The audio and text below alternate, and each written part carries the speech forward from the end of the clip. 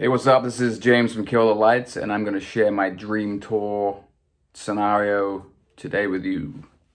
Um, so, starting off this scenario here, it's got a bit of a mix of mix of uh, artists, I guess, but uh, all artists that kind of have influenced me throughout my life, and just as I've evolved within my kind of just music listening and just uh, overall interest in music and metal music, rock music. Um, so I would start with Nirvana. Um, you know, early 90s, uh, my teens kind of growing up.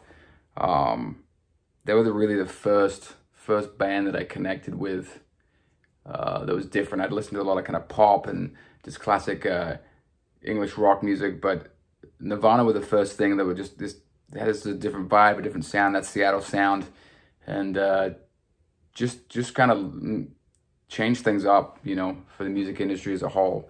Um, so I remember though, I will say, I remember kind of giving some kids crap about listening to Nirvana initially, and uh, uh, I ended up kind of just really evolving and, and starting my own, playing in my own band and, and being influenced by them too. So um, second second band on this tour would be Metallica, and that would be the the old school thrash Metallica that would have Cliff Burton playing bass um, just kind of the energy and just watching watching some of that uh, some of the early videos of uh, how they kind of don't didn't give a shit about like what they're doing or how they were doing it. They just they just went out there and played music. They were raw. They were kind of creating their own scene.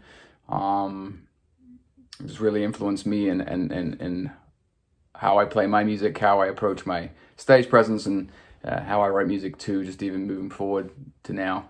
My third artist I would have uh, would be would be Queen. Um, uh, my my stepdad growing up was a huge Queen fan. I remember I remember having uh, New Year's Eve parties and he would have Queen blasting on the uh, TV.